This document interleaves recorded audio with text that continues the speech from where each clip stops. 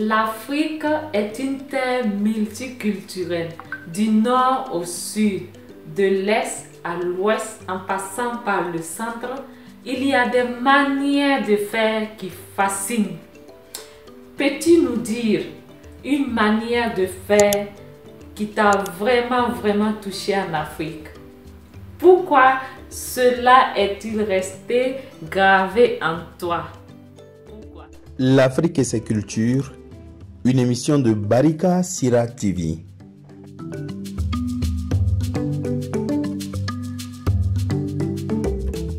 Les valeurs les plus bien appréciées dans mon pays, c'est l'accueil. Et quand vous allez au Togo et qu'une famille vous reçoit, vous êtes considéré comme un roi. Si vous êtes une femme, vous êtes considéré comme une reine. Et tout l'honneur possible vous est rendu en fait que vous vous sentiez en famille. Le sens de l'accueil nous donne simplement un sens d'unité, un sens de peuple, un sens d'amitié. Les repas cuits à la vapeur. Les Africains adorent les cuissons à la vapeur. Ils ont une multitude de repas typiques très sains car montés à la vapeur. On a à en Côte d'Ivoire, le Ablo au Togo, le Yonkon au Burkina Faso, le Gari au Bénin et donc Kounou au Ghana. Ce qui me fascine de l'Afrique, c'est le respect des personnes âgées. La société africaine intègre les anciens, la famille assume les parents jusqu'à leur dernier jour.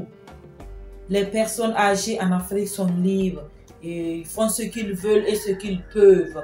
Et les gens sont toujours attentifs et à leurs petits soins. Habituellement même, euh, les personnes âgées du village meurent en paix. L'Afrique, l'Afrique, avec divers sens, diverses cultures, avec sa tradition. Et moi, ce qui me fascine, c'est la nomination d'un nouveau-né. En Afrique, le nom ne se donne pas au hasard. On ne se lève pas pour donner un nom à une personne par hasard. D'autant plus que le nom qu'on donne à une personne révèle son identité et ces noms deviennent porte-parole de la famille.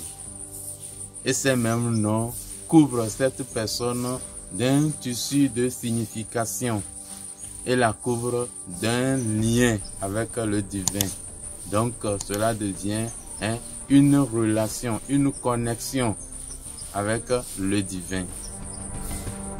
Le respect de l'étranger. En Afrique, on offre le meilleur à l'étranger qui arrive. On lui prépare des mets succulents et on lui prête sa natte.